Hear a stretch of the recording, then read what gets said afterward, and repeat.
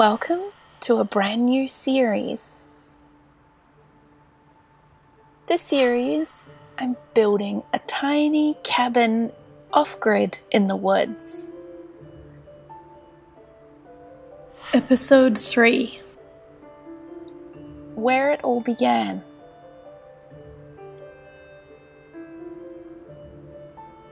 What does this place spark in your imagination?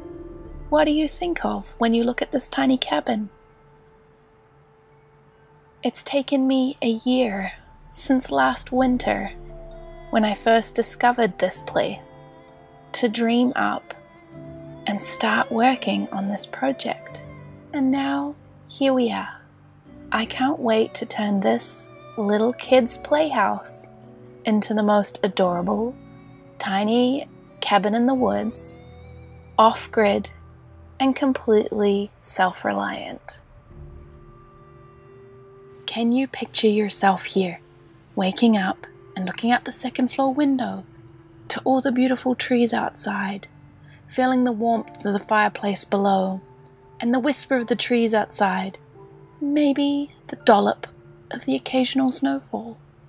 Or in spring, the flowers outside have started blooming and the forest is alive with birdsong the celebration of all the creatures who've made it through the chilly months, melding like liquid vibrations with the raindrops on the roof above your cozy bed. Such a different shot with a different camera.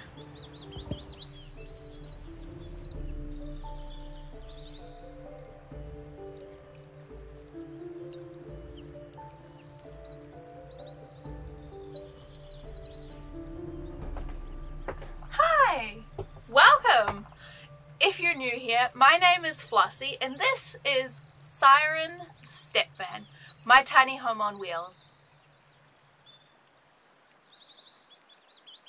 I built this van conversion myself, and this series begins our adventures of converting this rundown, rodent infested, sketchy kids' playhouse into the most dreamy of all off grid tiny house cabins. I am excited to take all the skills I started learning in the van conversion and build on them, get better, improve, make art, and learn more as I take on this little building. It's a good skeleton, a frame for all my hopes and dreams of a tiny cabin in the woods to come true. I am working on a tiny house it is off grid, out of cell phone reception, there is no electricity, no, no anything. I am looking towards being able to spend more time filmmaking, all my time telling stories and being creative. And I'm not there yet. I still have to work a full-time job. Everything makes a difference. The thing that I'm like blown away by so far is how the community has just come and even for such a small channel y'all are supporting me and showing up as much as I feel like I can share with you and encourage you and that is, makes it all worth it. The reason we're taking the floor out is because the tiles have to come out but the floor here is just uh, bent, it is curved but I want to insulate underneath it and I'm not crawling underneath so we're going to start from the bottom and work up.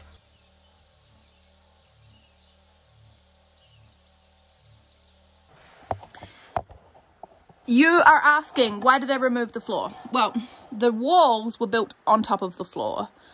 So, and the blue tile, we think had asbestos in it um, and it was glued to the floor. So we had to get rid of the asbestos. The reason I've done this is now I can insulate. So my first step is to be going to get some wire mesh to put those in pockets through each of the floor beams. Once we've uh, put the, that down, then we might put foam board or rock wool, probably foam board. And the reason we didn't just put a floor over top of the asbestos is this is how much headroom, and maybe even less than that. So like half a foot, three quarters of a foot of headroom. For me, anyone taller than me, if you put more on top of the existing floor, you lose headroom. After that recap, that brings us to where we are today. continuing to work on the floor, insulation, and an exciting piece of demolition.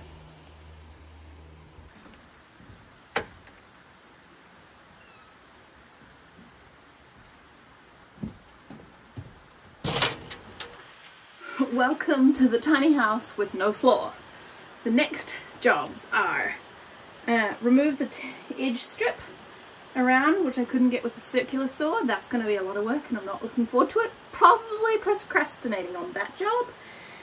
Then I have to, actually before that, I'm going to do uh, rows of uh, wire mesh in between each of these beams in order to create pockets to hold uh, insulation, which I'm going to be putting in between here because I want to insulate from the floor up.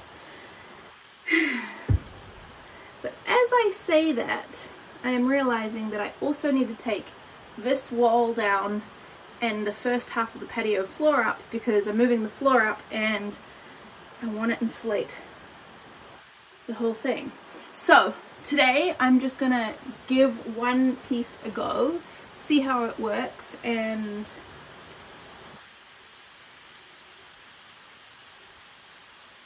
yeah, I've never done this before. Never done this before. So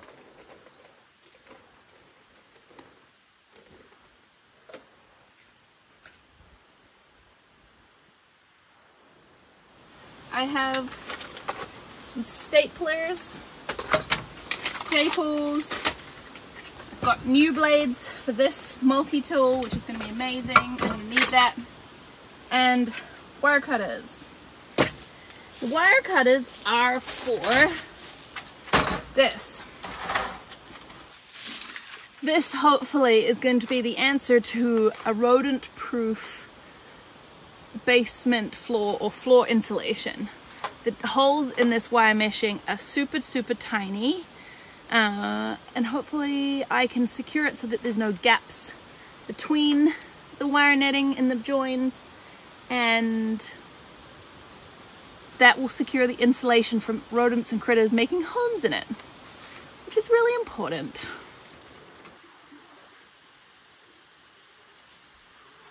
Like a sleeping bag. It's so bundled tight when you buy them. You never ever get them as small and as tightly bundled ever again.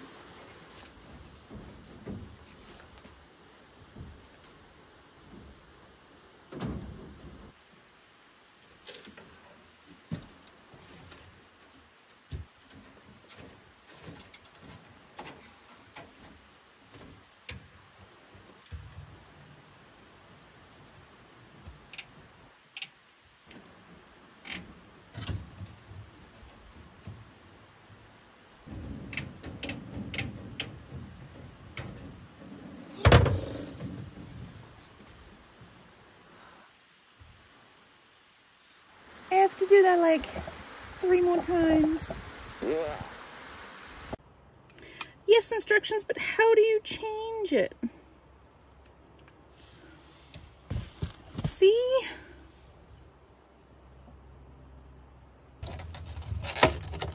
Whoa, bad idea, bad idea. Abort, abort, abort.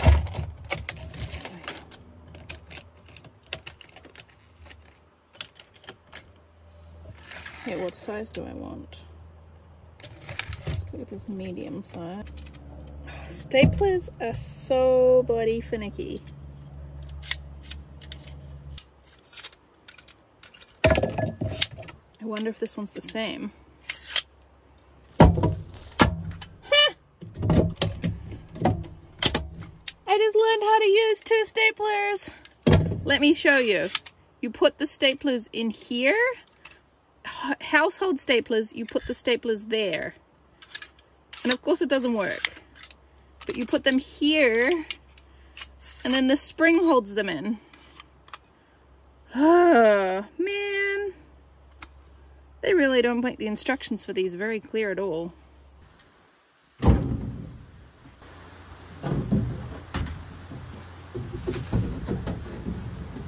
Yes, I should be wearing safety gloves. I agree. Own any? No. Could I use my gardening gloves? Probably. Oh damn, I should go get the scissors. Because really, I want to make a envelope corner. Otherwise rodents are just going to get in the end and crawl all the way in. Like a perfect basket. We want to make it harder for them, not easier. Unfortunately, you missed a bit. I cut the corners, bent this, creased it here. I don't want to put it too high up because I've still got to remove this bit of wall yet. But I want to get this in. Because I want a sense of achievement. So these corners have got to be right in there. Rodent proof without severe rodent dentistry.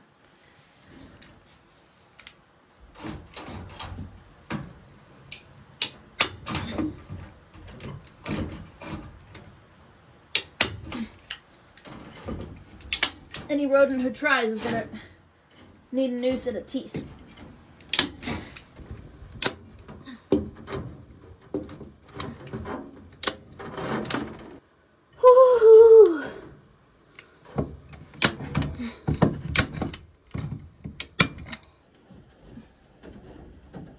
Wonderful rodent-proof pockets.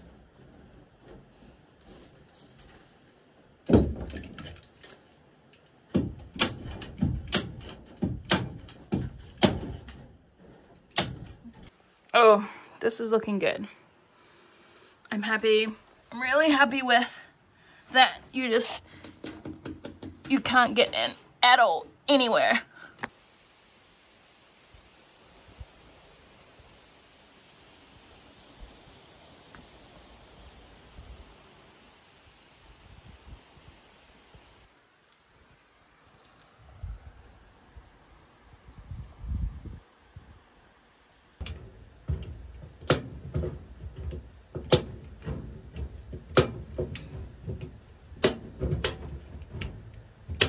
Oh, I'm out of staples. okay, I'm getting faster. It's coming along. If you've ever been to the gym or been a rock climber, this is gonna make my hands sore really fast. But it's the same sort of motion that that hand strengthening tool. Ugh, I don't like it very much. Hi everybody, I have a bit of a story to tell you. Ugh, as you can see, I've done some of this rodent proofing, but I haven't been able to do any work on the tiny house for the last two weeks. When I was stapling, I was using these parts of my hands, like this. Um, I woke up the next day feeling like I'd broken a bone in here. I couldn't squeeze anything. I was so sore. My wrists were swollen and inflamed. It, it was just a really bad time. So it's taken me two weeks of constant arnica and massage and acupuncture to rehabilitate my wrists. And I've been a bit nervous to get back to this job. I have so much to do and I have so much of this floor to finish with mesh. I don't even have enough mesh to finish the job. So it's all a bit daunting right now. I I'm gonna try and do something different and fun to give me some energy, enthusiasm and try a different method of using the staple gun so that I can still get this done. Been a bit disheartening. I have so much work ahead of me and I want to be doing the fun stuff. I want to be doing the rebuilding, not the deconstruction. And I'm still so heavily in the deconstruction phase that I'm trying to see the wood for the trees, as they say. All right, let's get to it. If you're new here and just joining this tiny house build series, welcome to my teeny tiny workshop. I am to use this old hammer and a good old crowbar today. Wish me luck. Let's do this.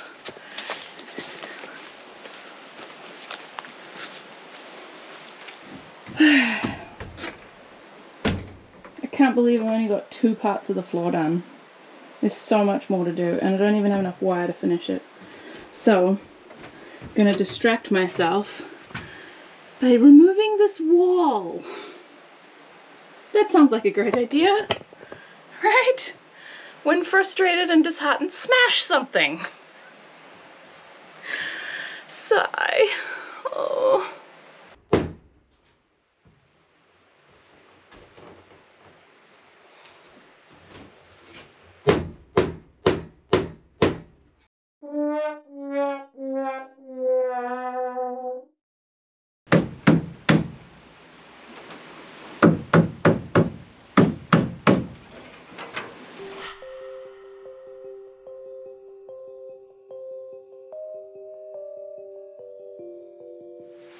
Are making progress.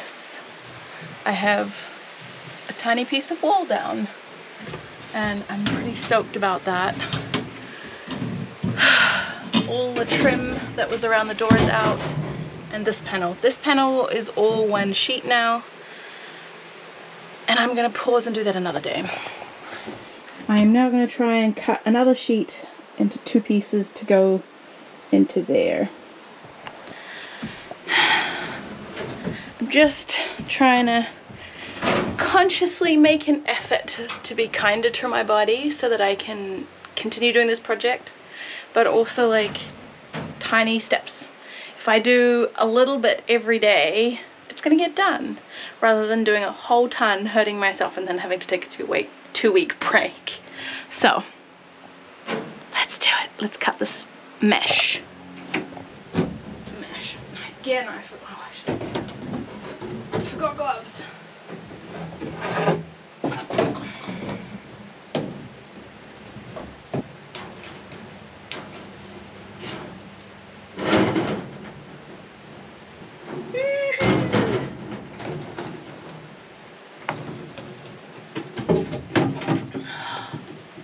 Yes.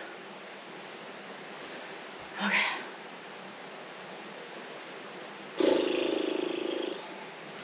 Two steps closer.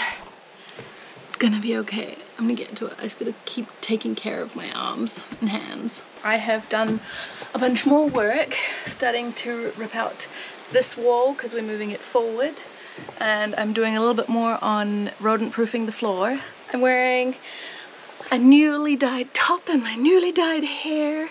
So I've been busy, but I wanted to tell you I've taken a two week break from the tiny house because all the stapling and stuff that I had done here was really taking a tax on my wrists. I've got a ganglion cyst on my wrist and I was, my wrist swelled up and we're in a lot of pain. So I just had to take a break for a bit, which is why you've seen other videos in the last couple weeks from me in the van, but I'm back on the tiny house.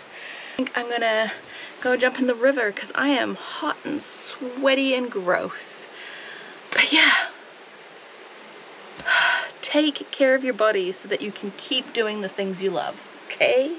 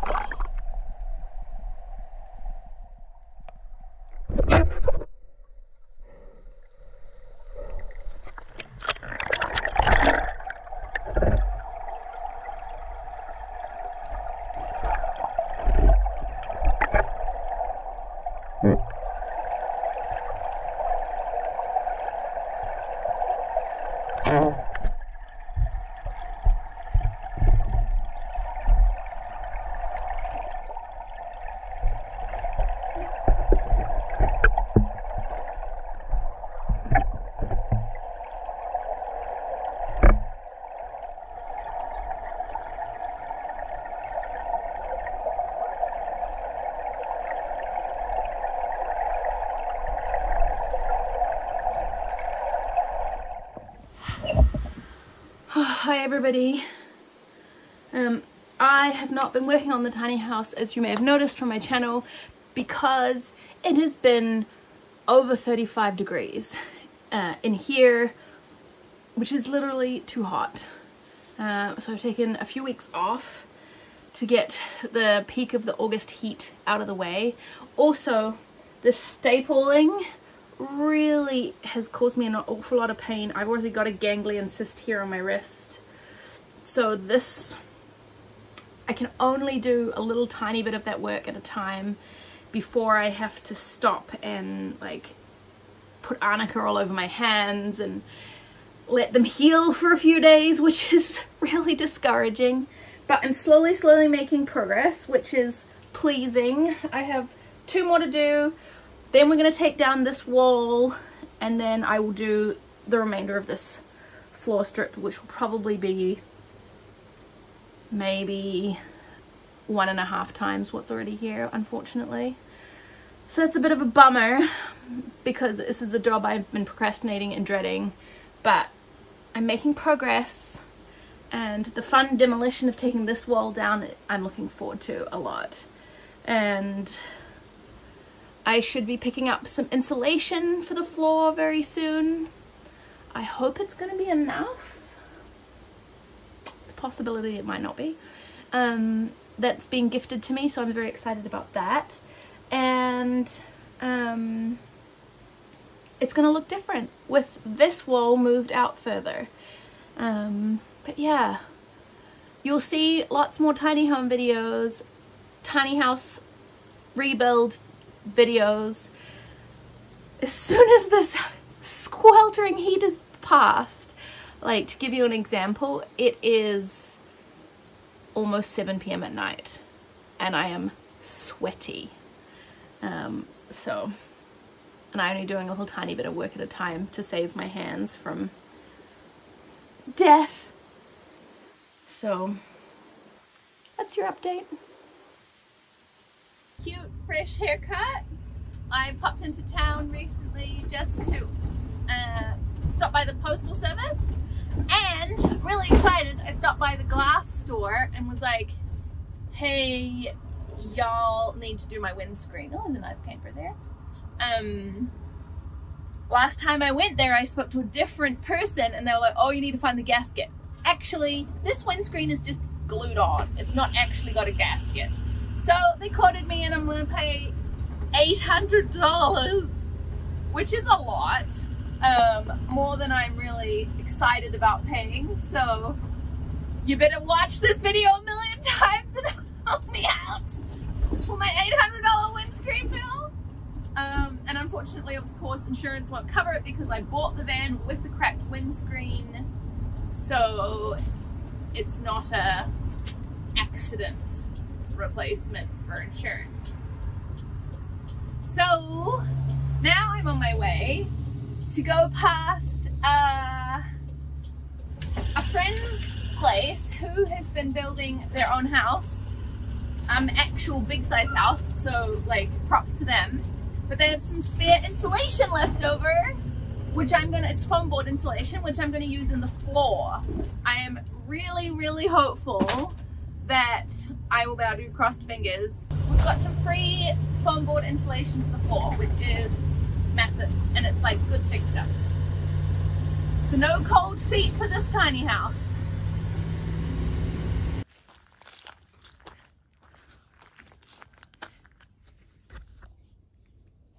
We have a problem. I want to close the roof vent, but all of these are in the way. I don't want to take these outside because they'll get wet. So I guess the roof vent is just gonna leak rain onto the kitchen bench.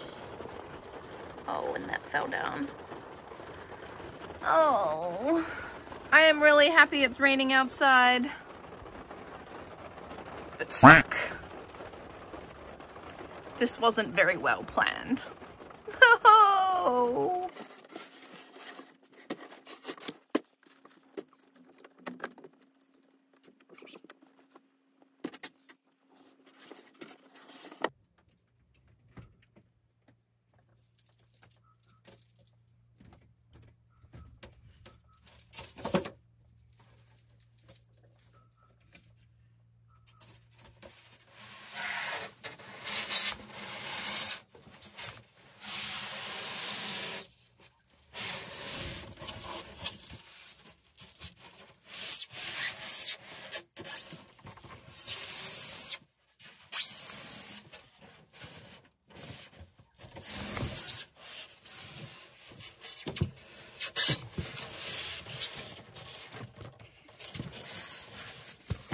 Everybody.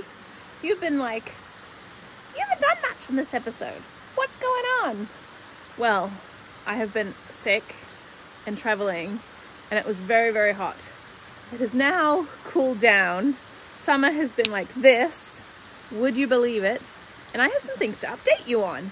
I have, inside of here, got the insulation material kindly gifted to me by a friend uh, from their building. So it was a surplus uh, reclaimed waste material, which is super exciting. I've done more of the uh, stapling and I've half removed all the nails from this. So that almost comes off. However, instead of trying to fight with it for like several more days, because I've been fighting with this off camera, I am going to get a saw and just go this is not a weight bearing wall, so it's just gonna come straight out. But let's check inside. Woo! Insulation! Woohoo! Right, I have three and a half sheets, which should be enough to do this whole piece out to that post. This is the whole piece that is being insulated. Um, today I have brought in my trusty batteries and we're gonna see if I can get rid of this little lip. This little blue lip around the outside of the building. That's what I'm to tackle today and then the next couple days I'm to come back and slice and dice this and slice and dice this bloody wall, which I am so, so, so sick of. So sick of.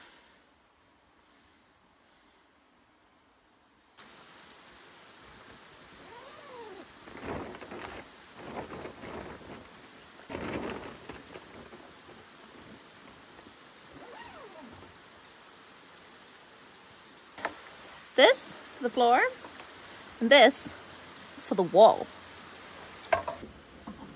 This battery pack is so great. Check out the previous video if you want to know more about this Bluetti EB3A. It was a very generous gift.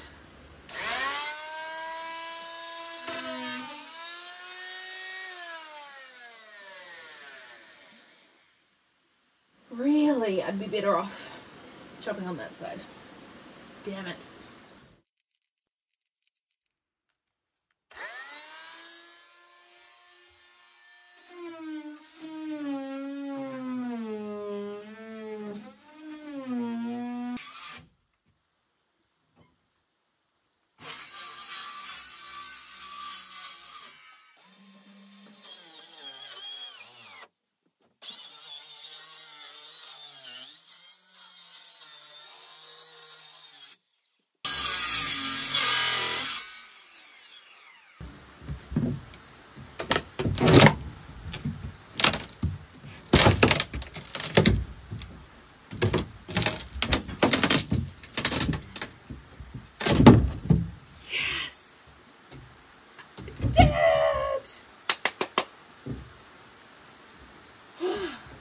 Last big piece of demolition.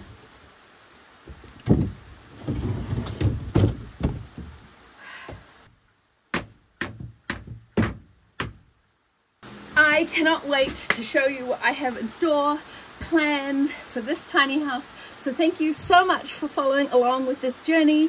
Yes, it is messy, but it is going to be amazing once we get back into the rebuildings, finished the destruction. I'm really happy. It's taken such a lot of mental hurdles and physical hurdles with hurting my hands to get all of these work done. A lot of it's happened off camera because it's been slow, painful and tedious. From now on it should go faster and I'm excited. This is a bigger space and it looks so cool and I'm suddenly having that wall out opens up in my brain visions of how it could be rebuilt, what to rebuild it, and how to make it look gorgeous. I'm thrilled. Whew. Actually, there's a little bit more destruction because I'm going to have to take down these uh, little patio walls too, but for the most part, the big bits are done.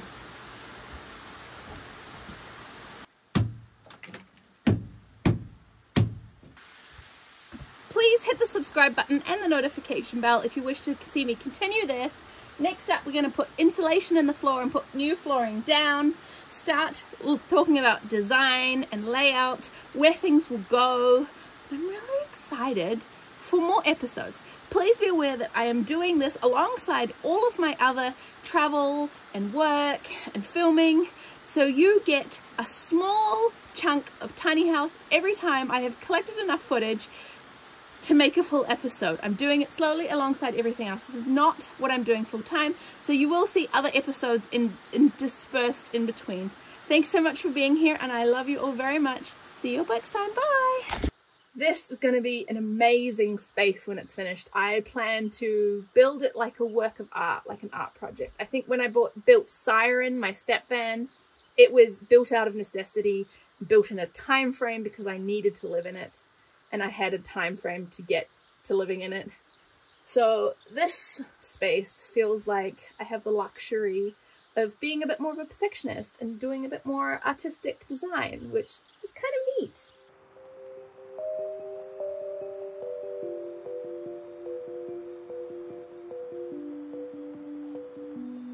If I had a candle, I'd light it just for you, so that you could see my heart is always there for you. If I had a million, they'd light the way, so that you'd always know that you're never alone, and we're always here for you. All of our candles together can light the flame of hope, of getting rid of stigma so we can all better cope. Perhaps someday soon, others will understand. Instead of running away from us, they'll gladly hold our hands.